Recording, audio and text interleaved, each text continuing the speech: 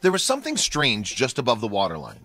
When the Gecy's spotted a mysterious creature clinging to some rocks, they were fascinated. Their intrigue soon turned to panic when they realized what the animal was, though, and so they set off on their way to help. Robert and Dee Gecy live with their family in Beaufort County, South Carolina, and in July of 2017, they were enjoying a day out on the harbor in their boat. However, as they were cruising through the water, something caught their eye. Yes, as they soaked up the scenery, the family caught sight of what they believed to be an octopus. The only problem was this, it wasn't in the water.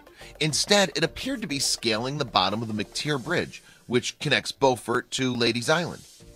Unsurprisingly, the family were captivated, and so they steered the boat closer to the bridge, where they could get a better look. However, as they got near, they were horrified to see that the creature wasn't in fact an octopus at all. As it turned out, the orange shape that they'd mistaken for a sea creature was actually a tiny ginger kitten. The cat looked just over a month old, and what's more, he was precariously hanging onto the oyster pilings at the bottom of the bridge. One misplaced paw then, and the little animal would splash into the water. The Gecy family were understandably astonished by what they were seeing.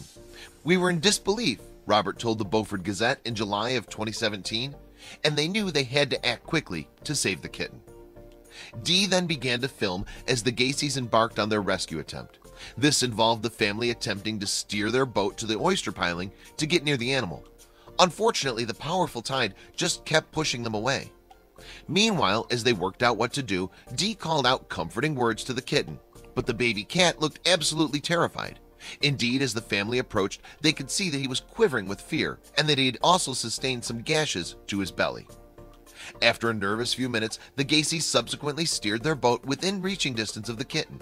Finally, then they were able to pull the poor creature from the oyster pilings and place him in their boat. And before long, the little animal was back to the safety of dry land. That said, the tiny kitten was showing signs of dehydration, so the family decided that the best course of action was to take him home. Once there, the Good Samaritans then cleaned the animal up and provided him with some much needed food and water.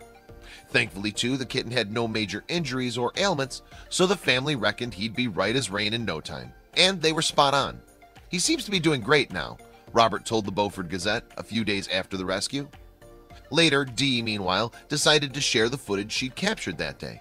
And in the accompanying caption on social media, she revealed what she believed was the nature of the harrowing ordeal that the kitten had been through. We rescued a tiny kitten today that appears to have been thrown off the bridge, she wrote on Facebook in July of 2017. He couldn't be much more than four or five weeks. He was very lucky and only appears to have minor scrapes from the oysters. His name is McTeer Dee's husband Robert, for his part, expanded on their theory about someone throwing McTeer off the bridge, although he conceded that the kitten could have fallen too. Either way, as he told the Beaufort Gazette, it was very odd circumstances as to where we found him. In the meantime, Dee's video had gone viral on Facebook. Indeed, before long, the footage was viewed 148,000 times. It also clocked up over 300 comments, many of which doubled up as adoption offers for McTeer. But McTeer wasn't going anywhere. Yes, the Gecy family had already decided to keep him as their own. Thank you for all the wonderful comments. McTeer is doing fantastic. He's healthy, full of energy, and already spoiled rotten. Robert reassured the kitten's fans on Facebook. A few days after the kitten's rescue, the Gacy family took McTeer for a checkup at the Port Royal Veterinarian Hospital, and their vets, too, confirmed that the cat was doing well. He's in remarkably good shape considering everything, veterinarian Mary Kay Campbell told the Beaufort Gazette. However, just to be sure, Campbell x-rayed the kitten and took samples of his blood to ensure that everything was well on the inside. One concern is his sodium levels if he had ingested or inhaled salt water, she explained. Sometimes it can have an effect even if he didn't drown. Judging by Dee's Facebook pictures, though, it appears that little McTeer got the all clear from the veterinary clinic. As you can see, he now lives a comfortable life of nap times and cuddles in the Gecy household. And although things could have been very different for the kitten, the family, for their part, don't see themselves as heroes. We did anything any other person who would have seen the kitten would have done, Robert said. It's a happy ending, and hopefully he won't have to use any more of his nine lives.